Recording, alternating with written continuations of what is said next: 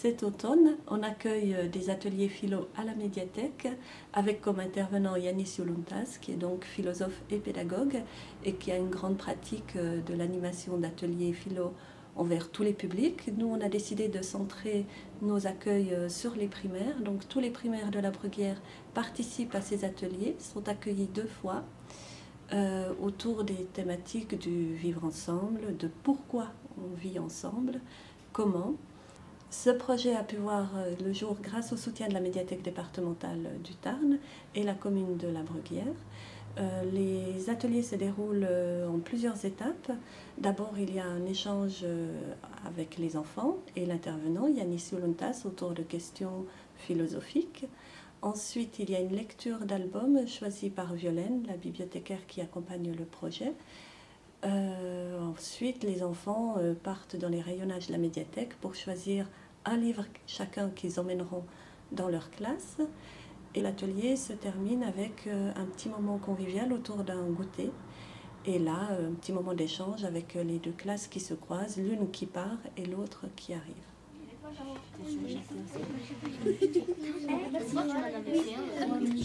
Avant de commencer, juste on va se, répartir les tâches. Hein. Donc euh, parmi nous, euh, on va prendre euh, une personne pour distribuer la parole. Hein, tu veux distribuer la parole? Oui. Ouais, t'as envie? Ouais.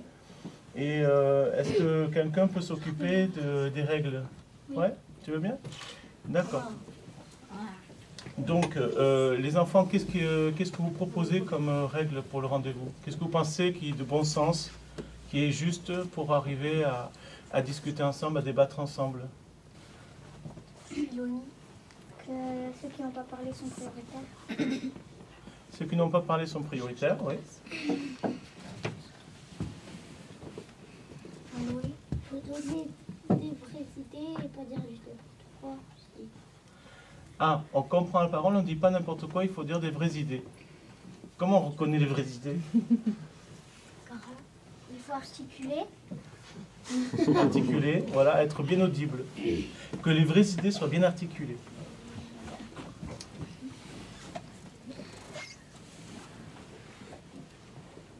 Est-ce qu'on ajoute encore une règle ou est-ce que ça vous suffit? Est-ce que vous êtes tous d'accord avec ça? Qui c'est qui n'est pas d'accord? Qui c'est qui n'est pas d'accord? Levez la main. Qui c'est qui est d'accord? Levez la main. Ok, donc tout le monde est d'accord, super. Et donc c'est toi qui te charges, ton prénom c'est? Diego. C'est Diego qui se charge donc de faire respecter cette règle, hein, de te rappeler à la règle, hein, si tu oublies. Hein, voilà. Et toi, ton prénom c'est? Lali. Lali, c'est Lali. Bon, très bien. Eh bien, Alia, ensemble, on va, on va commencer ce rendez-vous.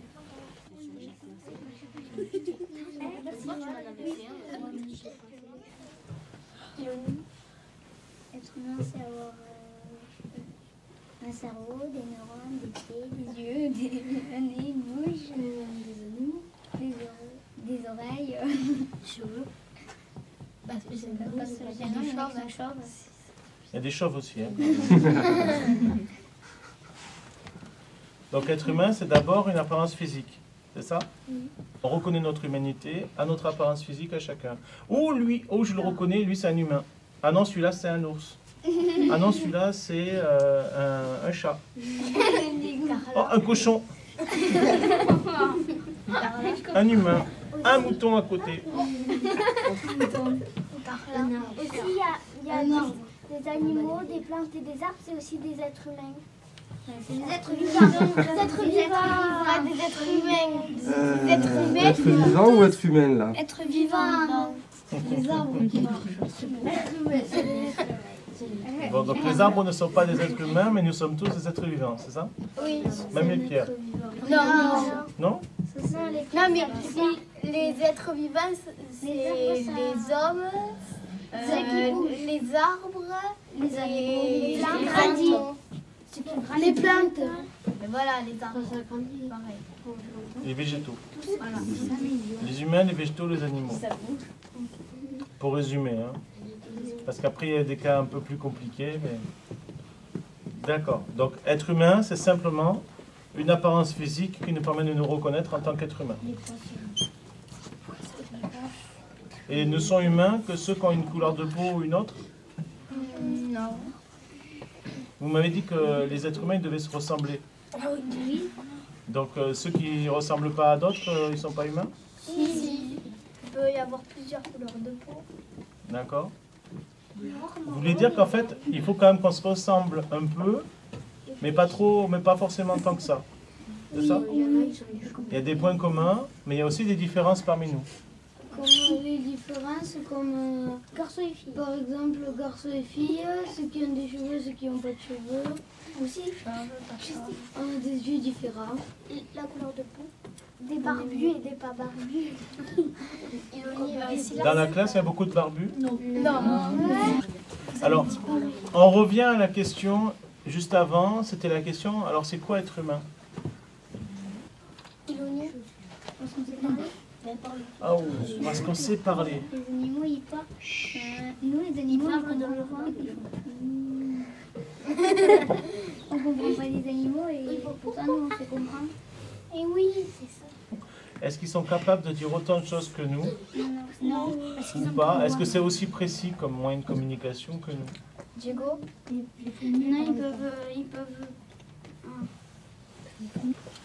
Et je vous posais une autre question. C'est quoi penser pour vous? Faut réfléchir un peu tout le temps.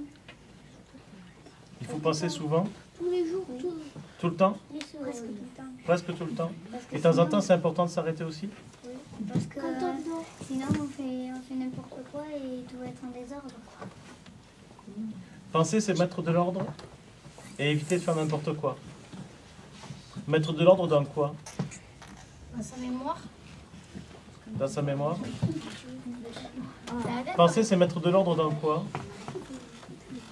Donc, penser, c'est éviter de faire n'importe quoi, c'est très bien, ça c'est très intéressant. Mais euh, penser, c'est mettre de l'ordre, elle dit aussi. Penser, c'est mettre de l'ordre dans quoi Julien. Dans sa tête. Mettre de l'ordre dans sa tête, ouais. Et encore, qu'est-ce qu'on pourrait dire C'est mettre de l'ordre dans quoi, la pensée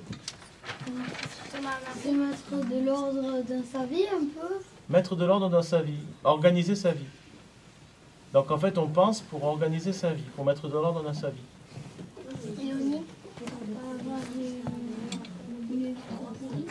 Si on ne réfléchit pas, tu dis qu'on va se gâcher la vie, c'est ça? Donc pour ne pas avoir de regrets, on essaie de penser avant plutôt que d'y repenser après. C'est ça? D'accord. Quelles sont les questions pour vous les plus importantes Les questions qui vous préoccupent Les questions auxquelles les réponses vous manquent? Euh, comment, euh, comment on va pouvoir faire si, euh, quand on est grand, que, si on n'a pas de sous, si, si euh, on, Est-ce que je vais réussir le bac Attends, tu, tu peux nous répéter Donc toi, ta grande préoccupation dans la vie, c'est Est-ce que je vais réussir le bac? Est-ce que je vais réussir mon bac D'accord. J'avais une question. Pourquoi Vous avez la réponse de vous, c'est pas bien. À quoi ça sert d'ailleurs Alors, vous avez entendu Elle nous rappelle que c'est pas bien de se moquer, surtout de vraies questions qu'on se pose. Et toi, tu te poses la question pourquoi on vit? Depuis toute petite, je me Depuis- Attendez, on, on va juste lui, demander un tout petit peu. Tu nous dis depuis toute petite, Je me demande pourquoi. tu te demandes pourquoi on vit. comment il est Et, et, et, euh, quelle est ta réponse pour l'instant? Est-ce que tu as déjà une, une réponse, un début de réponse ou pas? Moi, je sais que au début, c'était il y avait des singes, mais je sais pas comment. je sais, c'est vrai. Au début, on était des singes. Mais comment ils vivaient au début les singes Comment ils ont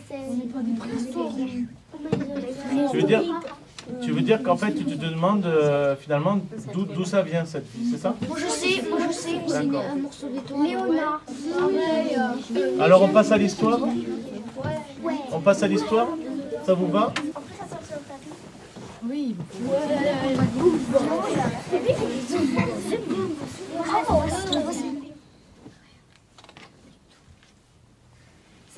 réussit à lui faire essayer de nouvelles chaussures, mais il lui signala tranquillement que c'était inutile, il ne les porterait pas. Elle exigea quand même qu'il se lave les pieds à chaque fois qu'il rentrait à la maison. Le directeur convoqua ses parents. Ils lui firent comprendre que leur autorité n'avait aucun pouvoir sur les pieds de leur fils.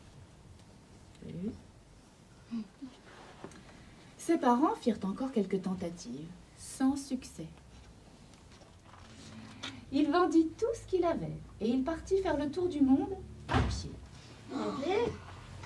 C'est possible. Alors, c'est C'est qui qui en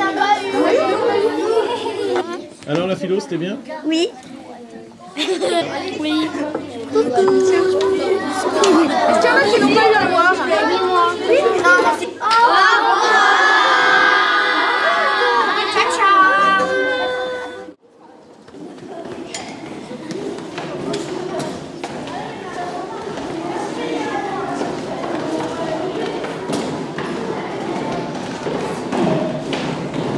Mais c'est deux par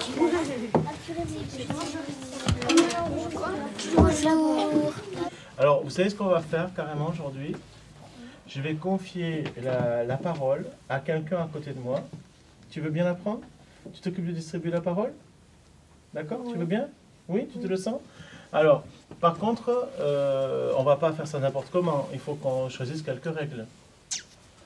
Euh, Qu'est-ce qu'on se choisit comme règle? Quelles règles pensez-vous utiles pour faire circuler la parole parmi nous? On lave le dos. On lève le doigt, d'accord On attend qu'on est interrogé. On attend qu'on soit interrogé, d'accord On parle pas tous en même temps. On ne parle pas tous en même temps, On se on crie la pas, parole. on ne se coupe pas la parole. Et, l'ordre de l'ordre pour donner la parole, ton prénom c'est Lola. Lola. Lola, est-ce que Lola, elle va donner la parole dans le désordre ou est-ce qu'il faut qu'elle suive un ordre particulier? Non, dans le désordre. On lève le doigt, mais euh, elle nous interroge. Non. Et s'il y en a plusieurs qui lèvent le doigt, Ben, elle choisit. elle en choisit un? ferme les yeux. Et s'il y en a qui ont déjà pris la parole par- et, euh, et d'autres qui l'ont jamais prise, Elle choisit ceux qui l'ont pas pris. Elle choisit ceux qui l'ont pas pris. elles choisissent qui n'ont pas encore parlé. Ça vous va comme règle pour tous? Oui. Qui c'est qui n'est pas d'accord avec ces règles Levez la main. Et qui c'est qui est d'accord D'accord. Tout le monde est d'accord. Ce sont les règles choisies à l'unanimité, créées et choisies par le groupe. C'est formidable comment on peut s'organiser ensemble. hein. Maintenant, on va voir si on est capable de, de respecter ce fonctionnement qu'on a choisi tous ensemble. hein. C'est quoi être libre? Clara, ne pas être commandée. Ne pas être commandé. C'est quoi être libre? Liam. Avoir la paix. Avoir la paix, Euh, écrire ce qu'on veut. être libre, c'est écrire ce qu'on Dans les veut. journaux. D'accord Dans les journaux. Dans les journaux. Être libre, c'est écrire ce qu'on veut dans les journaux. De faire tout ce qu'on veut. Être libre, c'est faire tout ce qu'on veut. Voilà. Non, quand même. Ah, et là, qui sont pas d'accord. Il y a quand même des règles à respecter même si on est libre. Il y a quand même des règles à respecter, même si on est libre, et on ne prend pas tout ce qui nous passe sous la main. Est-ce qu'être libre, c'est faire ce qui nous passe par la tête? Non. Pourquoi? Mais après, euh, on peut être libre, mais sans faire de mal à quelqu'un. Sans voler. Donc être libre, c'est pas faire ce qui nous passe par la tête, parce que c'est d'abord ne pas faire de mal à autrui. Ne pas gêner la liberté d'autrui. Euh, On ne doit pas dire à l'autre obéis-moi parce que je suis plus grand que toi, ou je suis plus âgé, ou, parce que je suis ton chef, je suis plus grand que toi. La liberté, pour moi, c'est c'est que personne doit être commandé par euh, une autre personne parce que parce que sinon ça serait pas juste et il faut faire en sorte euh, que dans la vie euh, il y a beaucoup de choses qui soient justes La liberté, c'est chercher la justice oui et n'a pas accepter les ordres. Ben, ça dépend. Si on te dit, par exemple, euh, euh, donne-moi ton goûter ou je te tape, euh, ça va, c'est ça marche pas comme ça. Parce que c'est pas parce qu'il est plus grand ou qu'il est plus fort que qu'on va se laisser faire. Parce que Mais, mais si la maîtresse, par exemple, elle te dit euh, c'est pas l'heure de sortir en récréation, Bah, ou encore la dame de la médiathèque, que Violaine, qui te dit, par exemple, il faut pas déchirer les livres. Tu es en train de déchirer un livre, ah bah arrête-toi, il faut pas déchirer les livres. Bah oui, bah, je le ferai parce que ça, c'est pas. Si, sinon, on abîme la- les choses on n'obéit pas. Faut obéir aux, obéir aux adultes qui demandent des choses euh, bien. Enfin, que des choses. Obéir, mais seulement aux choses justes. Oui. Uniquement obéir quand c'est juste. Et quelquefois, ça peut ne pas être juste.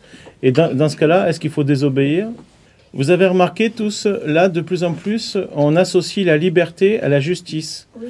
Vous dites qu'en gros, euh, le plus important dans l'idée de liberté, c'est de le raccorder avec euh, la justice, donc de faire ce qui est juste, de ne pas faire ce qui n'est pas juste. Donc moi, je vous pose la question, est-ce que quand quelque chose est profondément injuste, est-ce qu'il faut désobéir ou pas? Est-ce qu'on a le droit de désobéir? Ça, c'est une grande question. Quand on trouve que quelque chose c'est pas juste, ben, on a le droit de désobéir. La liberté, c'est qu'on a le droit de faire ce qu'on veut, mais les règles, il faut quand même les respecter. La liberté, ben, c'est pour moi, c'est. Comment s'appelle Qu'on a le droit d'exposer ses idées. Euh, ben, par exemple, que. Quand quelqu'un veut dire quelque chose en classe et qu'il n'est pas d'accord avec euh, son camarade qui a dit quelque chose d'autre, il a le droit de le dire, même que ça soit faux. Enfin, oui. Et. euh,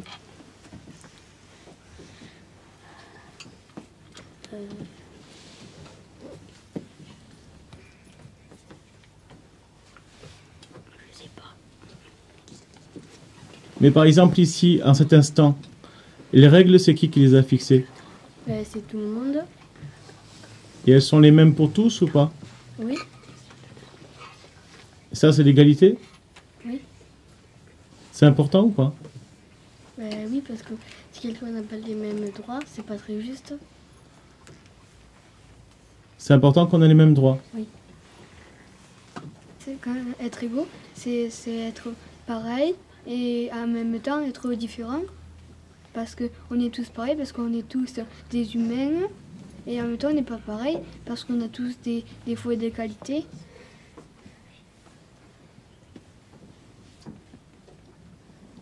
On est tous pareils parce qu'on est tous des humains Et on est, et on est tous différents parce qu'après on a des qualités et plein d'autres choses. oui, on a des idées différentes.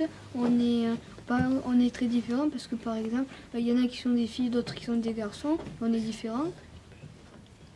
Et ça c'est un problème ou au contraire c'est un avantage? Non, c'est un avantage. Et pourquoi c'est un avantage? Ben, parce que si on était tous pareils, ben, ça serait pas drôle. Enfin, si on était tous des garçons ou tous des filles ou qu'on se ressemblerait, ben, ça serait pas drôle. Ça sera ennuyeux? Oui, voilà, ça serait ennuyé. C'est comme euh, l'a dit Pauline, si on serait tous des garçons ou tous des filles, euh, il y aurait des inconvénients. Ben, déjà, euh, on serait pas beaucoup parce qu'on n'aurait pas d'enfants. On est tous pareils en fond du cœur, mais euh, sinon, euh, on on n'est pas pareil. Enfin, en, en personnalité, on n'est pas pareil. Et dans la tête on est tous pareils? Ben non, parce qu'il y a des trucs que d'autres ils, savent et les autres non. Mais euh, on peut s'entraider, on peut euh, se l'apprendre entre nous. Et euh, il y en a qui n'ont pas la même couleur de peau. On n'a pas à se moquer parce que si on était à leur place, on n'aimerait pas qu'on se moque. Souvent après liberté et égalité il y a un troisième mot. Fraternité. On le voit où ce mot là Sur la mairie, sur les, la mairie, les écoles aussi. D'accord. Et la fraternité, est-ce que vous pouvez me dire ce que c'est pour vous La fraternité Ça veut dire quoi pour vous la fraternité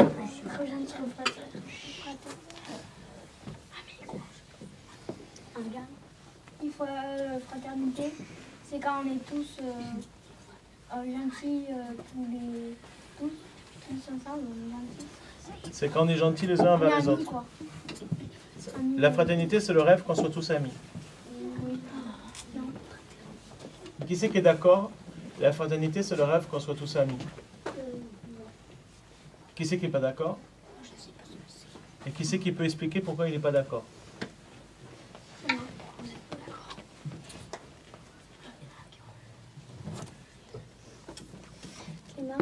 Parce qu'on n'est pas forcément tous amis?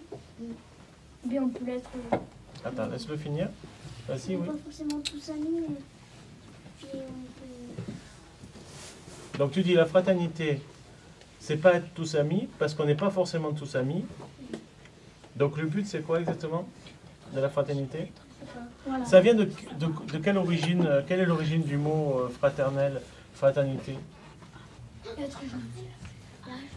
C'est euh, l'origine, c'est frater. Ah, je l'avais. je Tu l'avais. tu l'avais, tu l'as perdu. Ah, c'est bon. Fraternité, fratrie. Et fratrie, c'est quoi la fratrie? La photo. C'est le. Mais non. C'est quoi la fratrie?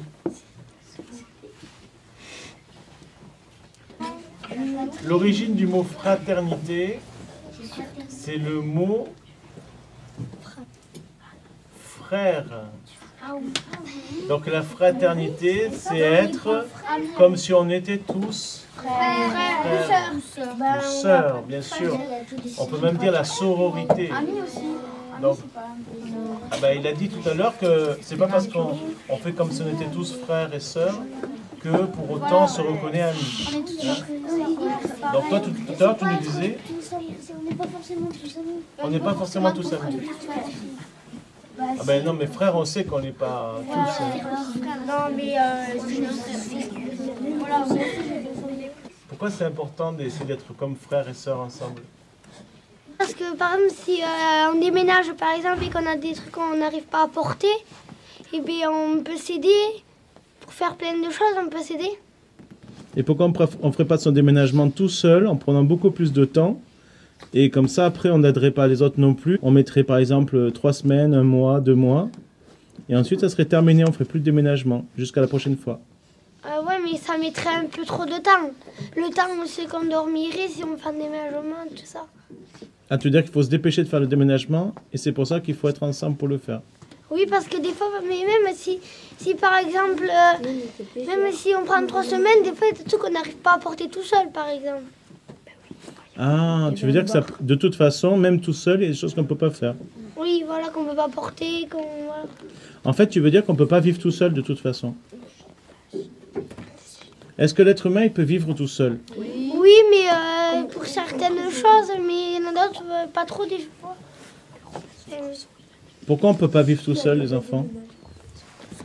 Mais parce que si, on, si un jour, euh, par exemple, on tombe malade ou voilà, mais il n'y aura personne pour nous aider. Et du coup, bah, ça peut devenir grave. Donc l'entraide, ça sert à ça. Oui. Ça sert à compenser les moments où on est plus vulnérable. Oui. Et si on s'aiderait, bah, peut-être qu'il y aurait moins de guerre. Donc voilà. Moi, j'ai retenu dans ce que vous avez dit que la liberté, pour vous, c'était quelque chose qui était raccroché à la notion de justice. C'était ne pas être commandé, ne- qu'on ne fasse pas faire des choses injustes. Refuser quelquefois, désobéir. Alors, je vous propose cette fable et puis ça va peut-être vous faire réfléchir un petit peu à cette notion de liberté, justement. Le loup et le chien. Un loup n'avait que les os et la peau tant les chiens faisaient bonne garde. Ce loup rencontre un dogue, aussi puissant que beau. Suivez-moi, vous aurez un bien meilleur destin. Le loup reprit. Que me faudra-t-il faire? Oh, presque rien, dit le chien. Chemin faisant, il vit le col du chien pelé. Qu'est cela lui dit-il? Rien. Quoi, rien? Peu de choses. Mais encore, le collier dont je suis attachée, de ce que vous voyez, est peut-être la cause. Attaché? dit le loup. Vous ne courez donc pas où vous voulez? Pas toujours, mais qu'importe. Il importe si bien que de tous vos repas, je ne veux en aucune sorte et ne voudrait pas même à ce prix un trésor. Cela dit, Maître Loup s'enfuit et court encore.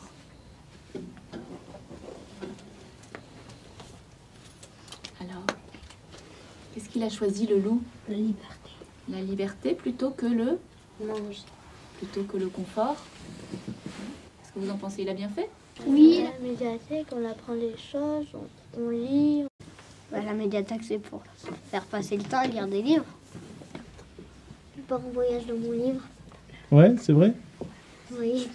C'est quoi la philosophie? C'est la science? La philosophie, c'est la science? Donc, par exemple, c'est construire, euh, c'est réfléchir, euh, concevoir et construire euh, des voitures, par exemple. Non, on n'est pas dans une garage. Carla, c'est parler, euh, parler de, des êtres humains, de- des êtres vivants. Se comprendre Oui. C'est essayer de se comprendre entre êtres humains, la philosophie. C'est ça que tu veux dire? Oui. Philosopher. Toi aussi, tu penses la même chose. Donc, toutes les deux, vous pensez que philosopher, c'est essayer de se comprendre les uns les autres. C'est ça? Ironie Aussi, euh, la philosophie, c'est avoir des questions et y répondre. Et essayer d'y répondre. Et donc, c'est de chercher les questions aussi? La philosophie, euh, ça sert à réfléchir. C'est utile pour tous les jours. Et à quoi ça sert de réfléchir ensemble? On s'entraide en fait tous ensemble, on parle de la même chose. Des fois quand il y, a- a un, il n'a pas de réponse, il y en a un, il a. Y a l'autre, il a la réponse. Et euh, aussi, c'est euh, comme il l'a dit Kylian au début, en fait ça fait plein de petites réponses pour faire une grande.